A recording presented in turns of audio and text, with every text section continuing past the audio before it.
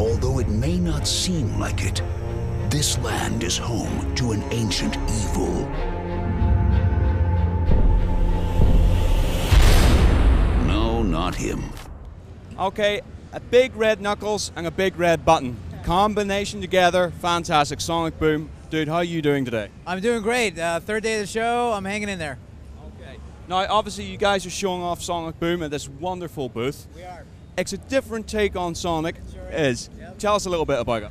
Well, our goal was to make a character adventure story that you can have uh, shared experience with friends and family, sit down at a local co-op, uh, play together. So the goal was to make sure that the other three characters are just as compelling. So all the changes we've done to the character, all the modifications to support our character adventure story. So that way, when you know you, you run to the controller and the, and the first kid is uh, is picking up Sonic, the other kids are not disappointed because they have to pick Amy or Knuckles or, or Tails. So uh, we wanted to make sure that their personalities shine through their banter and the story. That's uh, that's a character adventure story, and they uh, are sometimes at odds with each other. But their personality also shines through their mechanics as well. Sonic is obviously a speed guy, and his name is on the the box, so we know what he's all about. But we want to make sure that uh, that speed component carried forward in his traversal, in his combat, and uh, and his speed, obviously. Uh, Knuckles is all about power. For new fans who aren't familiar with uh, Sonic, we wanted them to see the lineup of the characters and instantly recognize who they are. Uh, Knuckles being the bruiser of the team, with three punches he'll take out the robots. Sonic has his air dash as a special. Uh, Tails has his um, his buddy bot that is a robot that he's created that will go after the robots and take care of them. But he's also got his uh, distance grenades that he's using. So for players who gravitate towards being more in the on the back and uh, not engaging up front, they will gravitate towards uh, for, towards Tails. And Amy is a lot more self-assured. Uh, she has her hammers, which uh, packs quite the punch. So she has a triple jump. She has a lot. She's a lot more agile. So for people who like that kind of gameplay, uh, they will gravitate towards her. So the goal was to make sure that again, it's just about the personalities and uh, this uh, very interesting dynamic that they have together, and they're not all subordinate to to Sonic.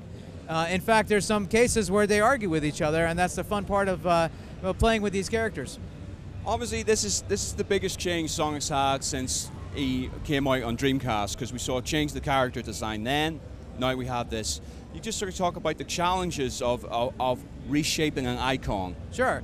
Uh, the advantage of working with Sega and Sonic Team is that they have been living with this franchise for 20 years. They really understand it, Sonic Team in particular. So when we were looking at where is our boundaries of how far do we go to make modifications, uh, Sonic Team was very instrumental to. First of all, they were very open-minded in uh, all the changes that we were uh, looking to do, the modifications, and and they eventually we found the guardrails that would be part of our exploration as what makes Sonic no longer uh, Sonic in spirit. And we found that out by the wacky ideas that we put on the table. And ultimately, what you see today was a combination of all the things that we felt were within the Sonic uh, DNA, but tweaked in a slightly different way to give you a different kind of experience. And when you have our industry grow up as, as far as it has, it's, we've been around for 30 years. Sonic is one of the grandfathers of the industry. He's been around for 20 years. There's not that many other characters that you can say that about.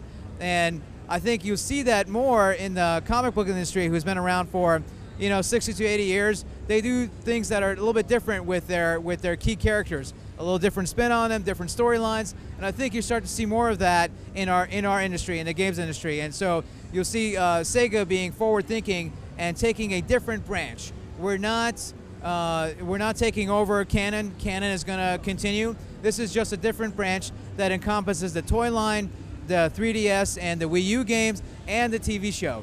All those things on the Sonic Boom branch are very consistent in their approach in the universe. Just a few small things then. Sure, a few small things. But um, okay, talk to us about the actual structure of the game. What, how does it play?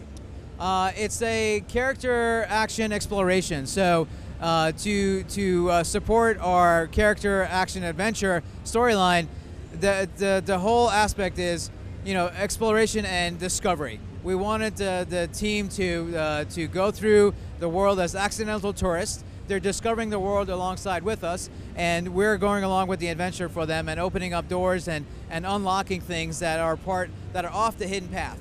Uh, along with that convention comes having a supervillain that we introduced uh, in Sonic Boom, Lyric, who is a augmented snake, um, who was using the Ancients technology to his benefit and was using it for the wrong reasons. And uh, the team discovers that, and there's some connection that we understand that we have to play the game to find out. I'm not going to spoil it for you. That uh, somehow Sonic was locked to his past from a thousand years ago, so we have to figure out what that is. But in, in an action adventure storyline, you know, you, this exploration has a big part of it.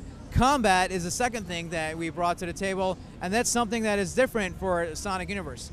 It was an evolution for us of looking at the bonk, you know, the, the spin dash, and uh, where do you take that if you're looking to advance it further? And to us, combat was a was a natural uh, uh, step for that, and it also made sense for us because um, for a cooperative experience, we wanted to keep the, the players together as much as possible without limiting you in terms of the, the, the tethered together and the, the camera being very consistent. So we looked at other games, best in class, and we said that's not going to work for us to have a true action adventure where you're not making compromises. And that's the advantage of the Wii U because we were able to get on the CryEngine, which is not suited for character platforming. We were able to modify that. The team uh, modified it so, so we can have split screen we didn't want to have split screen in such a way that was conventional because that would ruin the experience for us. So that's where the Wii U was very instrumental for the N-Vision, and that was to have dual display.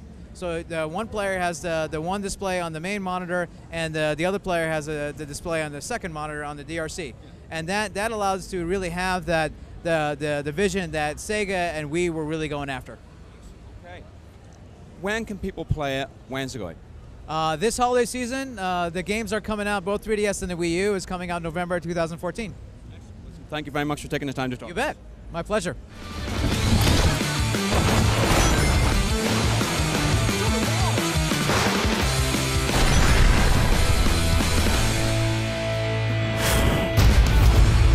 And that's how we do it.